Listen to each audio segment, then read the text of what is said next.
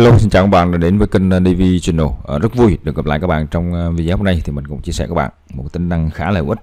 Đó là các bạn có thể là thực hiện đặt cái lịch trực tiếp online trên uh, trung tâm đăng kiểm xe cơ giới để các bạn thực hiện cái lệnh đăng kiểm xe à, mỗi khi các bạn có nhu cầu.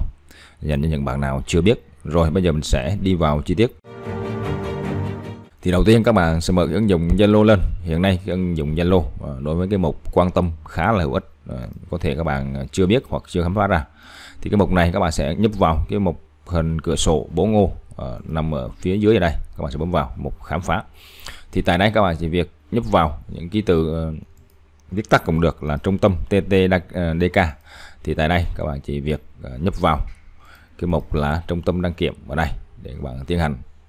À, hỗ trợ người dân đặt lịch đăng kiểm ở đây. Các bạn sẽ bấm vào. Khá là hữu ích và cũng khá là tiện lợi. Đó, các bạn sẽ bấm vào kết hợp vào.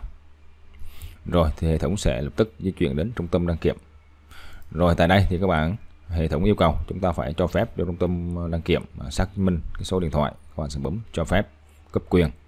Rồi các bạn bấm uh, xác nhận trung tâm đăng kiểm. Cần bạn cung cấp số điện thoại để tiếp tục sử dụng ứng dụng rồi các bạn sẽ bật số điện thoại lên có thể là vị trí có thể là thông báo lên. Đó. sau khi các bạn cấp hết quyền thì các bạn sẽ quay trở ra. Thì tại đây các bạn sẽ vào cái mục là đặt lịch đăng kiểm à, khá là hữu ích thì các bạn sẽ việc mở lên và các bạn sẽ tiến hành à, đặt cái lịch đăng kiểm vào ngày nào giờ nào à, kiểm định xe gì vân vân. Ngoài ra có lịch hẹn và quản lý xe à, tìm lịch trống rất là rõ ràng và hệ thống hiện nay cũng online cũng khá là hay để các bạn có thể trải nghiệm. Thì đây là những cái tính năng mới của những cái trung tâm đăng kiểm hiện nay. Họ làm rất là uh, bài bản và có cái tiêu chuẩn rất là rõ ràng.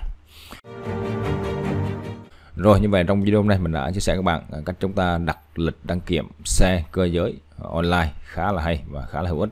Thì đây là một cái tính năng cũng đang là quá trình à, hoàn thiện. Do đó có những lúc các bạn sẽ vào và nó sẽ gặp những cái lỗi như là không có đăng nhập được vân vân. Thì đó là uh, do tính năng hiện tại cũng đang được mở uh, đang tính năng đang dần cải thiện để hoàn chỉnh.